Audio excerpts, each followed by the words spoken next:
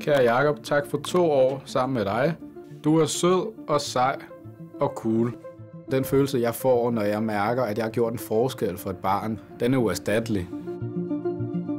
Mit navn er Jakob, jeg er 20 år gammel, og jeg arbejder med børn på krisecenter.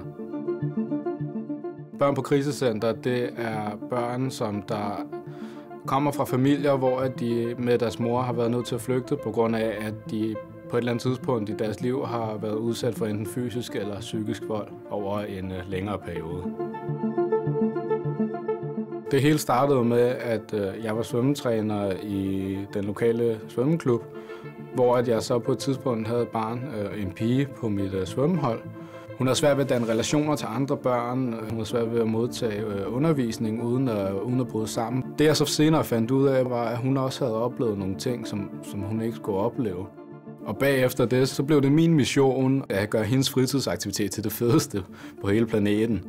Men på et tidspunkt, så, så gik det ikke længere. Øhm, jeg mistede kontakten til hende, hun ville ikke mere. Og det gjorde mig utrolig øh, sur og frustreret og, og magtesløs, på grund af, at jeg ikke kunne gøre mere. Og så har jeg gjort det til mission lige siden. Jeg er frivillig i Ungdomsrådet Kors som aktivitetsleder for Spilopperne. Det er et lokalt initiativ, som foregår på Frelsens Krisecenter i Næstved. Vi skaber nærvær og tryghed gennem aktiviteter, og det kan være alt fra at bage snobrød til at sætte sig ned stille og roligt og tegne med dem. Det allerbedste, vi gør, og det som børnene tager allermest med hjem, det er nærværen. Jeg har nydt dit selskab, for du er en rigtig sjov person med masser af personlighed. Så tak for to gode år. Børn de laver jo de, de sjoveste ting, og de viser deres, øh, deres følelser på, på en helt unik måde. Så skriver hun, hvis du skal have bil, kan du i det mindste få fikset det dæk. Gør det nu, inden bøden kommer til at koste mere end omkostningerne for et nyt dæk. Jeg vil savne dig. Fortsæt god dag.